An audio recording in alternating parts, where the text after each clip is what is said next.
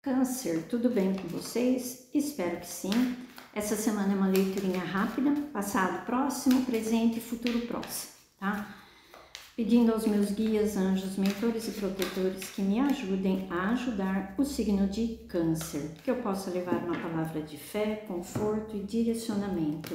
Lembrando que se trata de uma leitura geral, atemporal, coletiva, se não ressoar com seu momento, procura sua Lua, Vênus, Júpiter ou o signo forte do seu mapa, ok? Câncer, a criança, a foice e a consulente. Muito bem. A consulente não, a cigana, desculpa. Então aqui, no seu passado próximo, a criança, tá? Ela indica alegria, ingenuidade, pureza, ela tá caçando borboletas, tá? É alguma coisa, alguma felicidade, alguma amizade, algum assunto que te trouxe um encontro que você participou, uma brincadeira, algo nesse sentido, tá? Um passado próximo aí, tranquilo, quer dizer, você teve uma semana, uns 15 dias aí de tranquilidade. A foice Nesse momento atual, ela me indica uma situação perigosa que precisa ser cortada. Algo que você precisa cortar, ou da sua mente, do seu espaço, da sua vida, tá? E a cigana, ela vem com a cobra aqui, ó. Ela me indica traição, mentira, manipulação, tá? Intuição aguçada e hipocrisia. Então aqui, ó, pode indicar um inimigo ou inimiga ou uma pessoa rival que não está contente com aquela alegria, com aquela pureza, com aquela leveza sua, então corte, ok? A foice é para cortar. Corta o mal pela raiz. Começou com muita adulação, muito mimimi, puxar seu saco, querer saber as coisas. Uh -uh. Já corta o mal pela raiz. A foice vem antes dela. A foice está antes da cigana. Então, é necessário cortar alguma coisa aí que você está percebendo, que a sua intuição está te dizendo. Isso não vai dar certo. Essa pessoa não tá legal, ok? A criança, a roda da fortuna. Seis de paus.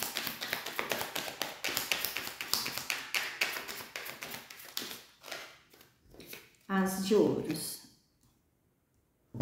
É isso mesmo, ó. a criança, na realidade, em alguns baralhos, ela indica o início de algo, de um projeto, tá? Então essa criança, ela traz aquela veio clarificada por uma mudança.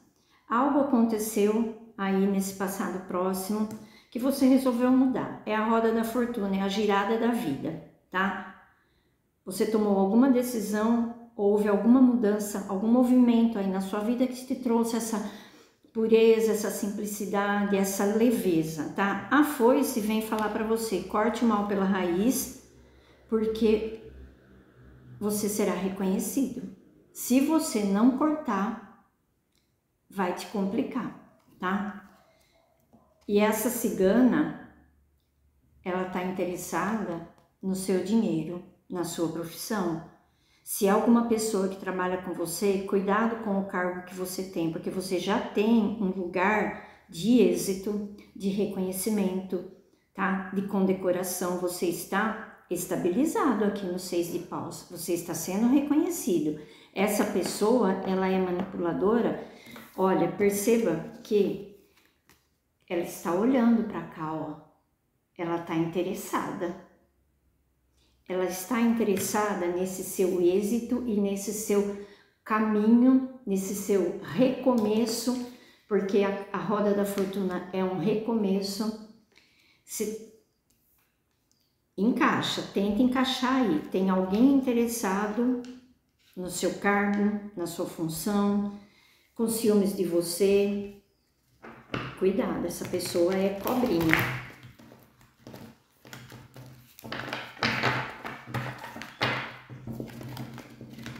Nossa, esse baralho é liso. Perdão, gente.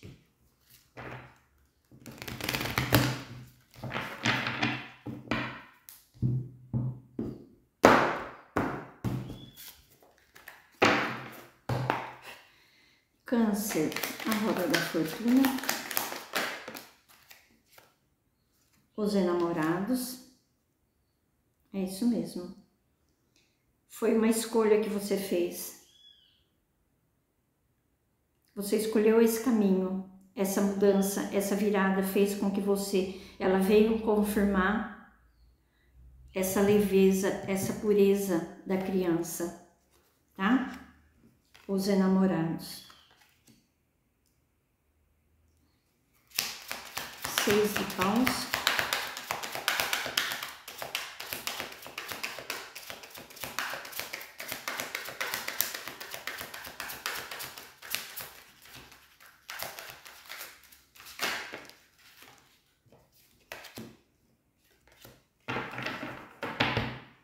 Fundo do deck, o mago.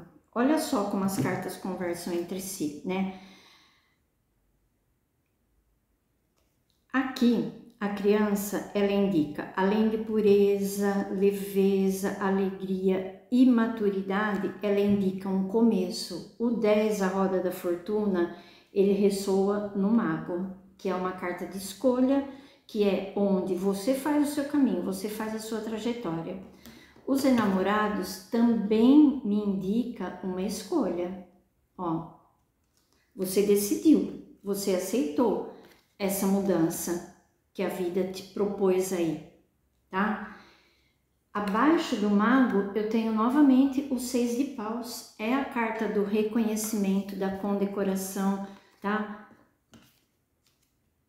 Você está sendo reconhecido no seu trabalho, na sua profissão, no seu cargo.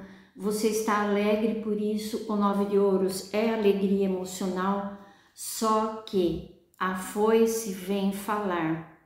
Corte coisas que não estão fazendo bem. No caso aqui é essa cigana que eu já falei. A espiritualidade traz para você o as de ouros e o Cavaleiro de Espadas. O Cavaleiro de Espadas é uma notícia rápida que chega até você, tá? Então pode ser que você receba aí, ó, espadas é mental. Pode ser que essa pessoa influencie outra pessoa a te falar algo que mexa com a sua mente, tá? E que te deixe perturbado. Mas o que importa aqui é o centro do jogo, a primeira carta do baralho cigano, que é o presente, a foice, tá? Ela está cortando a rosa pela raiz. Anuncia uma traição perigosa, um corte, algo é reduzido à metade. É também um símbolo de rapidez e do inesperado. Esse inesperado está aqui chega rapidamente para você.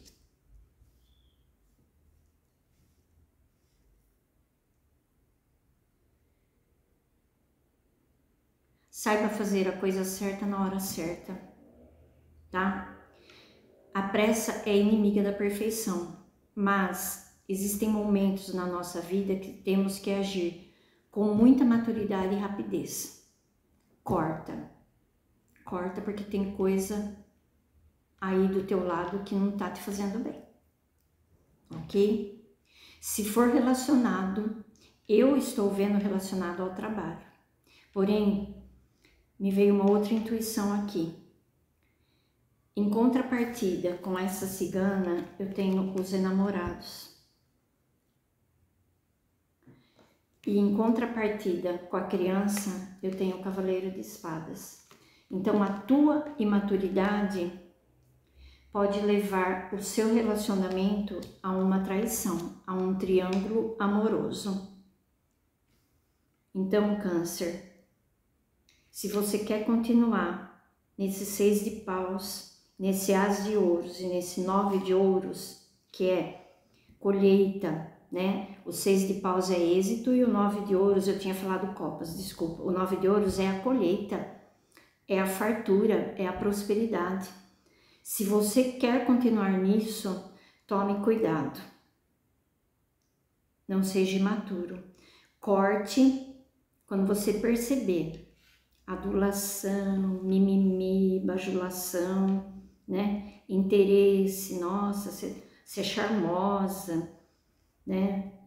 Alguma coisa nesse sentido. Usa da rapidez, câncer. É o que eu tenho para vocês. Graça e paz, gratidão. Se não ressoar, solta para o universo, tá? Mas se inscreve, toca o sininho, curta, comenta, compartilha, deixa a sua opinião, ok? Câncer. A gente se vê semana que vem.